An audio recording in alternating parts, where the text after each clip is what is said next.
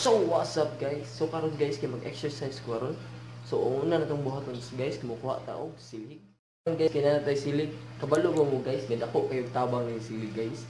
Kung mag-exercise mo. Tuluan na mo guys kung unsaon ni siya. Tanawan. Tip number one guys, ngano kailangan itong silig. Kailangan itong silig. Kay siligan na salog, kay ugaw kayo.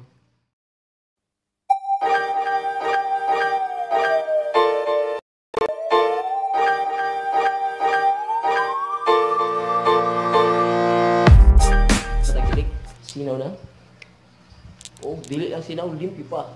So karon guys, tip number 2. Ngita ta og hapin guys, kay magligid-ligid man ta, mag-exercise man ta. So kung ngita ta og Da!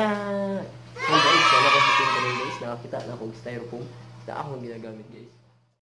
So karon guys, kay magsugod na og exercise guys. So ang akong exercise karon, exercise. So ang akong exercise karon is abs workout. So abs ako karon guys, kay Pang last day, gahapon, gahapon, nag-chest man ko. So karon guys, kay mag-abs na pud ko.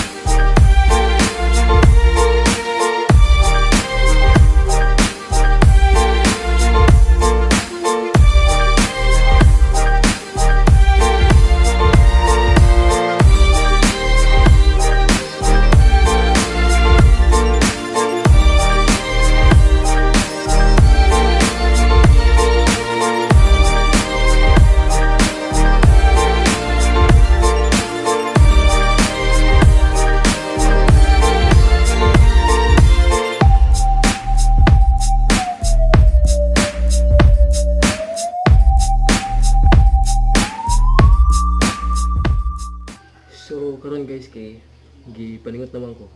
Kailangan na maghugas.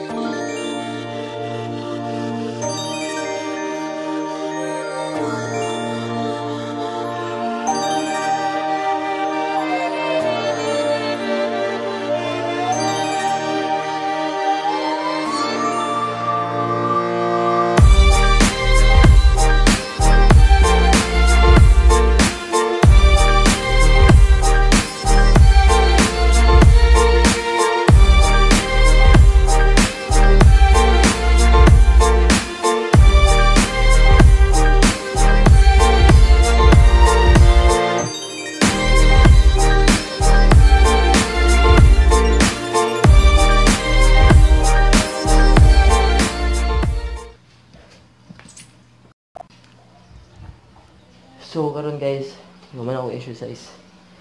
Grabe ang singot. Grabe singot guys. So guman ako exercise karon guys.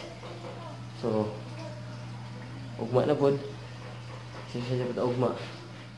Ah, pasingot